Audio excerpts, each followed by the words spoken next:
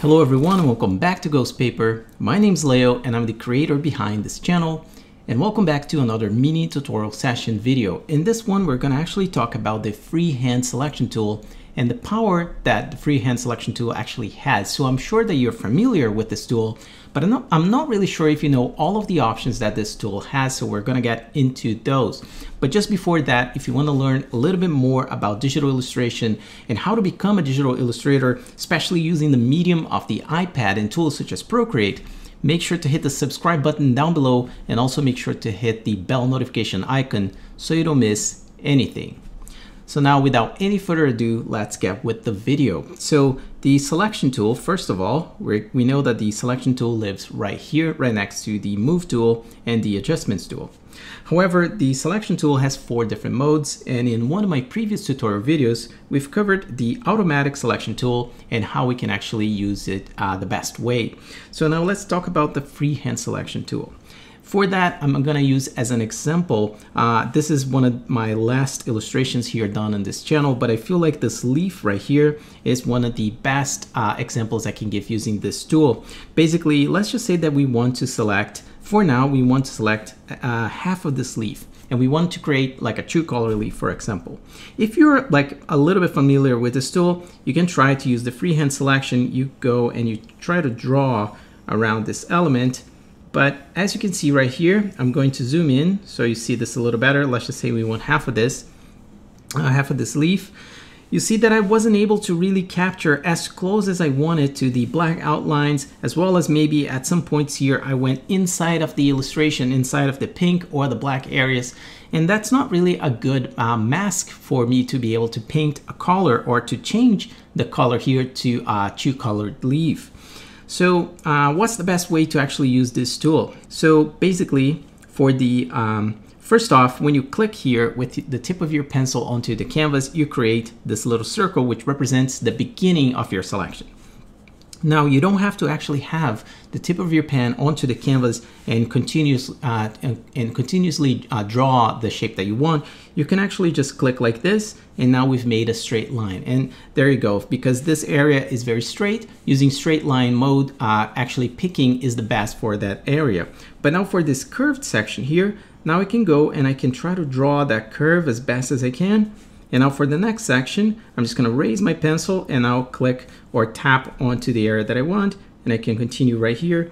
And I'm going to draw again this section right here, this curved section, and then straight area, straight area, and now curved again. I'm just gonna draw here and straight.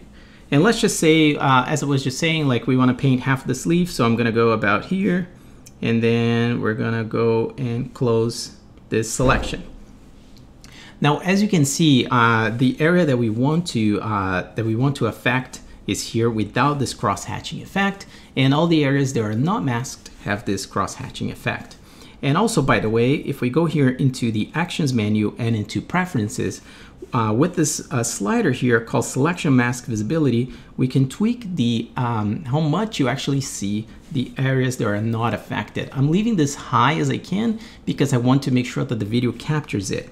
And another thing here as a bonus tip for this video is that for any slider here in Procreate, you can tweak it normally just like that, but you can also drag it down and you can actually um, tweak the slider uh, over this area and you see that you're actually doing by increments. So you're actually doing with way more precision uh, by actually sliding down your finger onto this area more or less here off, the, of your iPad and then tweaking the slider. You see the slider is still moving.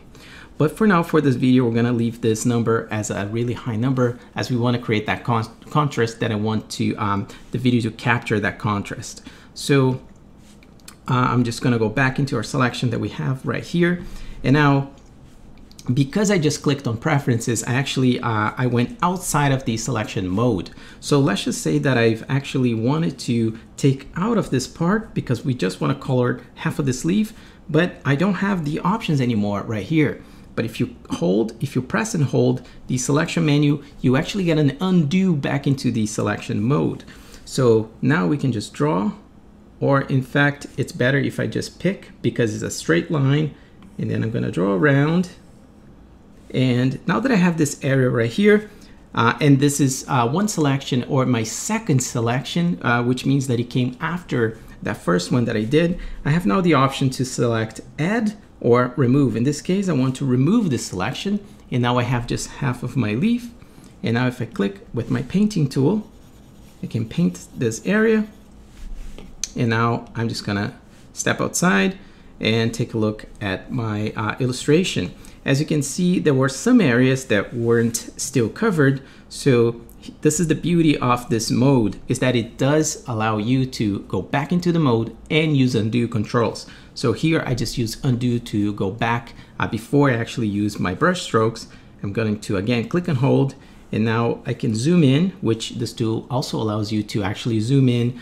Uh, you don't have to worry about that while you're selecting and we're going to make a better selection for this edge right here. And I'm gonna close it. And once you close it Procreate understands that this is an, uh, an additive mask. So you're adding to your selection. But if you don't close your mask you do have to choose between those two options. So right here I'm just gonna do another selection. A little bit better. I'm not gonna close it. I'm gonna click remove as I don't want this area to be painted. So now I believe I created a better mask for this section so now if we go back again onto the painting uh, mode here with the brush, you see that I've uh, did a way better job here with this edge. So overall, the free uh, the freehand tool actually allows you to get really, really good results as long as you know how to actually uh, work with the tool. So that's it for this video guys. I hope you guys enjoyed this one and I hope you had some good educational value on how to use the freehand selection tool. If you did find this video informative and if it helped you in any way, shape or form, please leave a like to this video, subscribe to the channel for more tools, more mini tutorials and speed paint videos, and I'll see you guys on the next one.